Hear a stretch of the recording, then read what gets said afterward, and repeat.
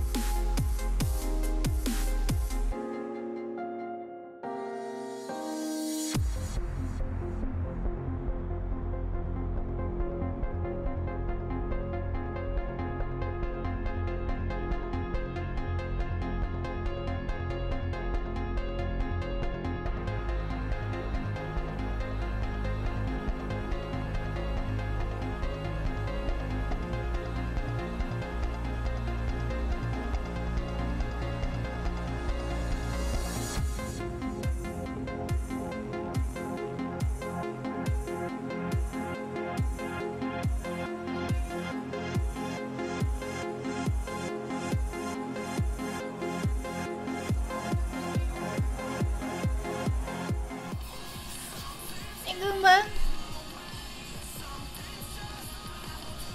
Hey guys, uh, I hope you enjoyed that. So I used this um, glow milk basically like all over my face. I did my nose and up here, I did up here, and I actually put them on my lips for lipstick. So I love that kind of lip look. I don't lip look. I don't like I'm I'm not partial to red lips. It's not my favorite. It can be pretty, but I, I don't favor it.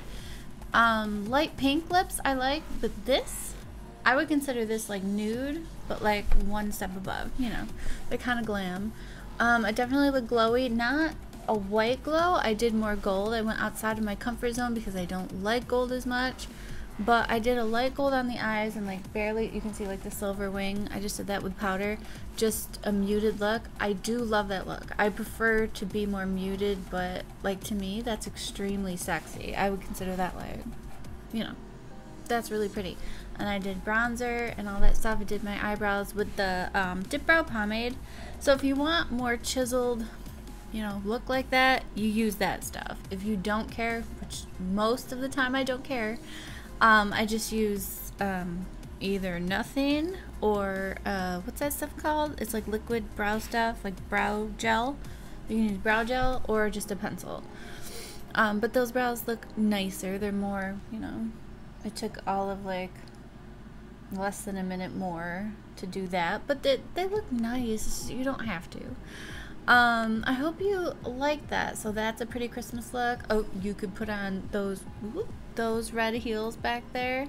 Those are fun too. I wore those before. I don't know where I went though, or what. And then the gold ones I wore for my uh, sister-in-law's wedding, my brother's wedding. and um, yeah, that was fun. Those were comfy heels. The gold ones were comfy. And then my new pretty light blue bag. Oh, so wintry, right? So Christmassy. Oh, I'm loving it. I love this aesthetic. I love wearing white with like shimmers. So even though you guys know I don't like gold, I think this is pretty. Like it's muted enough to where I can stand it. Um, remember to follow me on Instagram, Facebook, and Twitter. Twitter is where I post more political stuff, in my opinion, on a lot of things. So I'm conservative. I'm a conservative makeup YouTuber, so if that would tick you off, you won't like what I have to say, but you should follow me anyways, and then you can write me your opinions, and then you'll give me something to talk about. I welcome all opinions. Do that.